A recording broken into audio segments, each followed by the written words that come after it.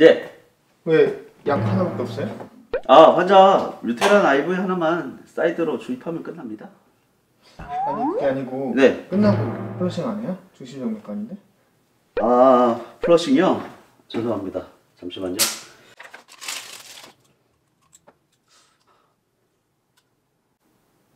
쌤 근데 궁금한 게 있는데요. 네. flushing을 왜 하는 거죠? 네? 아니 제가 flushing 하는 이유가 좀 궁금합니다. flushing은 또 당연히 알아두면 쓸모 있는 간호 짭지식 let's go! 안녕하세요. 설명하랍니다. 김쌤, 네. flushing 왜 하는 거예요 이거? 제가 모를 것 같으세요? 모르시던데.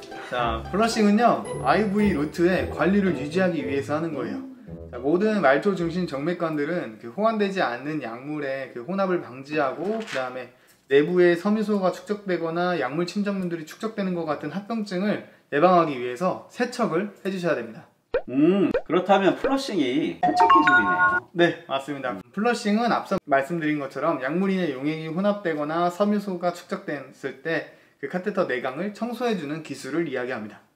자, flushing은 간단합니다 대중적으로 등장성 용액인 normal saline 10cc를 10cc syringe를 통해 이렇게 push해 주시면 됩니다 flushing이 계속되는 중에 정맥관을 locking하면 lumen 끝에서 양의 압력 flushing이 발생합니다. 이로써 혈액이 카테터로 역류하는 것을 방지할 수 있습니다. 이 동작이 잘 되지 않는다면 혈액 역류로 인해 정맥관 폐색이 발생할 수 있습니다. 실험을 통해 직접 보여드리도록 하겠습니다.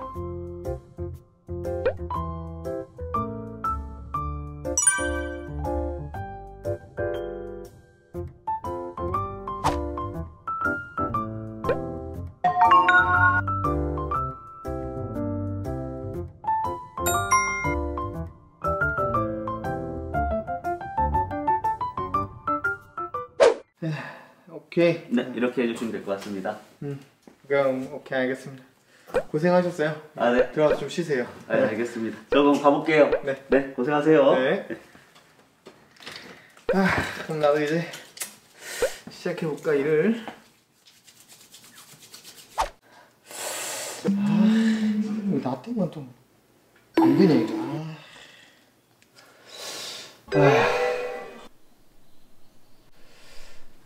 해 이거.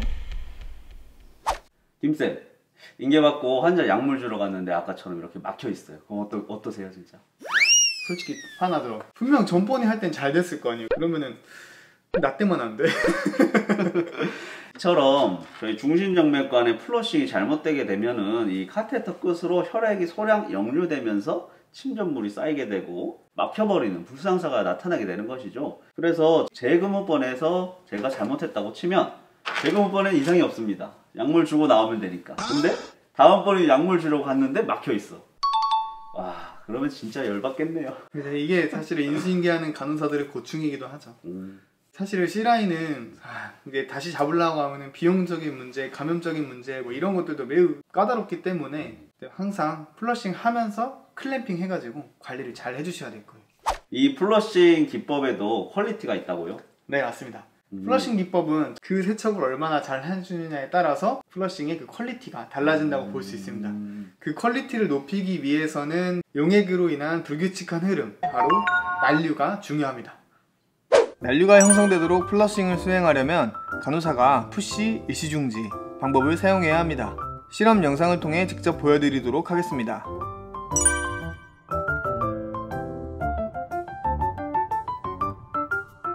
자, 이처럼 용액이 장치벽 내부를 스크럽 또는 청소하여 혈액 섬유소 제거를 촉진하고 혈액 내 카테터 movement까지 작용하여 중심 정맥관 내부 lumen에 약물 침전물이 쌓이는 것을 방지할 수 있습니다.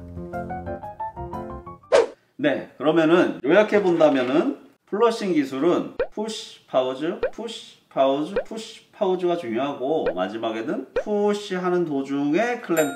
아, 맞습니다. 요 정도면 충분하겠죠? 네.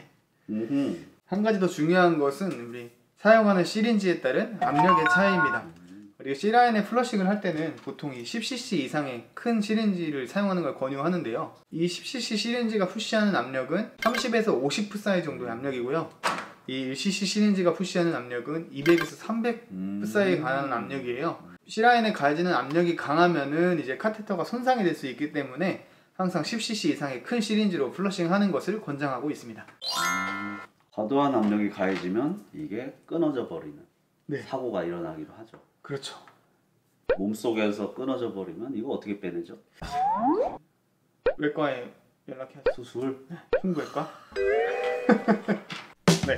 오늘은 중심정맥관 관리 기술들을 영상에 담아봤습니다. 저희 채널 내에도 중심정맥관 관리 방법, 삽입 간호 이런 영상들이 있는데요.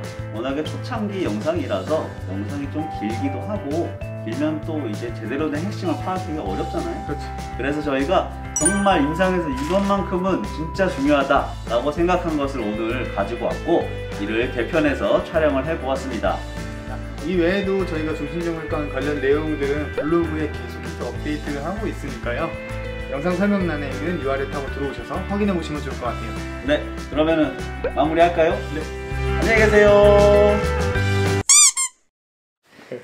진짜 끊어지지 않고 봐보자. 여기 지금 찝었거든? 네. 한번 쏴봐. 쏠게요. 오우.